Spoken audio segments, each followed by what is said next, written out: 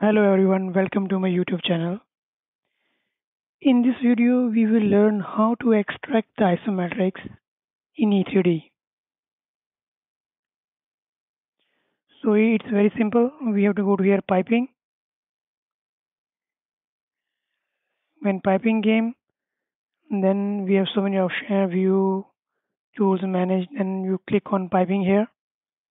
After piping, you have to go to pipe level. So this is the pipe hmm. level.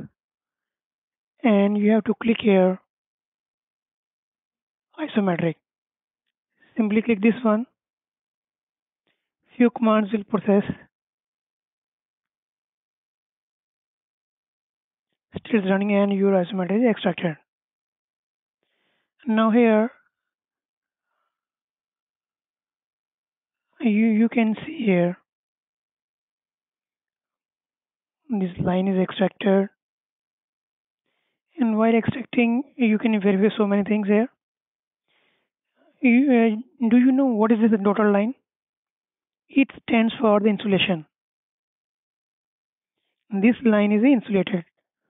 So the insulation they're already given here thermal thermal insulation spec 100 mg so when we check here we have to check whether all the connections are okay or not you say it is connected to E3D, sorry, E vessel E130 nozzle 2.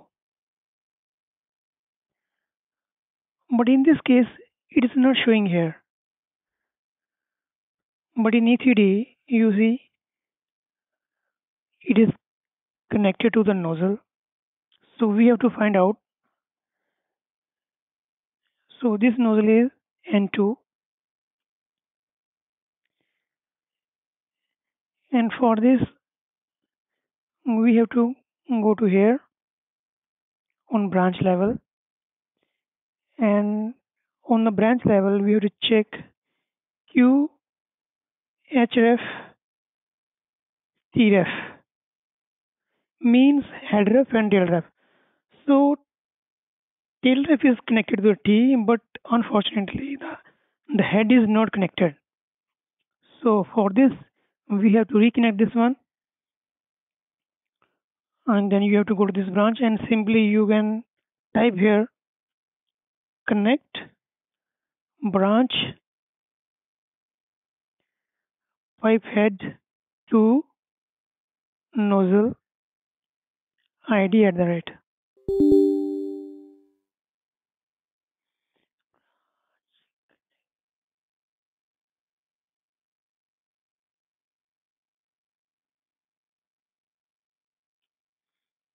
ph2 nozzle id at the rate. So we have to connect this nozzle so let's verify. Again we go this branch and we run the query. Qhref tref so now the head of this branch is now connected to n3 let's we will extract isometric again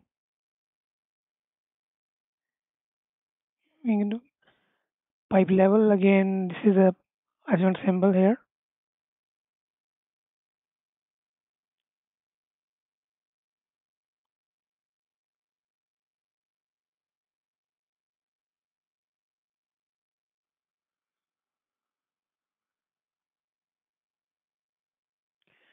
And now you can see it is connected to the nozzle so in this way, we can troubleshoot what is the issue in the isometric by reconnecting, checking the connections, everything. Sometimes the isometric will not run because the line is not com the head ref and the tail ref is not completed. So always check first head ref and tail ref and then extract the isometric. Thanks for watching.